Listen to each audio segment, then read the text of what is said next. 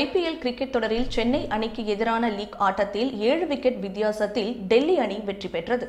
இரண்டாயிரத்து இருபத்தி ஒன்று ஐபிஎல் சீசனின் இரண்டாவது லீக் போட்டியில் சென்னை சூப்பர் கிங்ஸ் அணியும் டெல்லி கேபிட்டல்ஸ் அணியும் விளையாடின. மும்பையில் நடைபெற்ற இந்த போட்டியில் டாஸ் வென்ற டெல்லி அணியின் கேப்டன் ரிஷப் பந்த் ஃபீல்டிங்கை தேர்வு செய்தார். அதனால் தோனி தலைமையிலான சென்னை அணி முதலில் பேட் செய்து இருபது ஓவர்களில் ஏழு விக்கெட் இழப்பிற்கு நூற்று எண்பத்தெட்டு ரன்களை குவித்தது. சென்னை அணிக்காக தொடக்க வீரர்களாக களமிறங்கிய ருதுராஜ் கேக்வாட் மற்றும் டுபிலேஸில் இன்னிங்ஸை ஓபன் செய்தனர். சென்னை ஏழு ரன்கள் எடுத்த நிலையில் இருவரும் அடுத்தடுத்து விக்கெட்டுகளை இழந்தனர். இருப்பினும் மொயின் மற்றும் சுரேஷ் ரெய்னா மூன்றாவது விக்கெட்டிற்கு ஐம்பத்து மூன்று ரன்களுக்கு பார்ட்னர்ஷிப் அமைத்தனர். இருவரும் அதிரடியாக ரன் குவிப்பில் ஈடுபட்டனர்.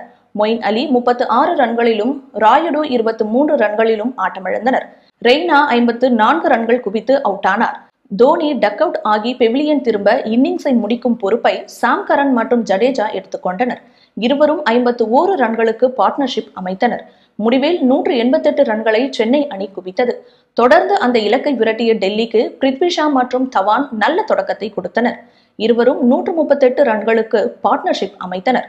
பிரித்விஷா எழுபத்தி இரண்டு ரன்களில் அவுட் ஆனார். தவான் ஐம்பத்து நான்கு பந்துகளில் எண்பத்து ஐந்து ரன்களை குவித்து அவுட் ஆனார். அவரை தாக்கூர் முறையில் வெளியேற்றினார். பிரித்விஷா மற்றும் தவான் இவர்களது அபார ஃபார்மை கேரி செய்துள்ளனர். இருவரும் அவர்கள் விளையாடிய அண்மைய கிரிக்கெட் தொடரில் சிறப்பாக ரன் குவிப்பில் ஈடுபட்டது குறிப்பிடத்தக்கது. சென்னை அணியின் பந்துவீச்சை டெல்லி தொடக்க வீரர்கள் துவம்சம் செய்திருந்தனர்.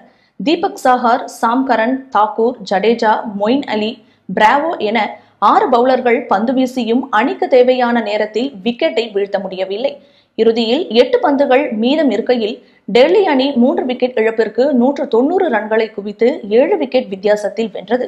சென்னை அணி முதல் போட்டியில் தோல்வியை சந்தித்தது ரசிகர்களை முகம்பாட செய்துள்ளது.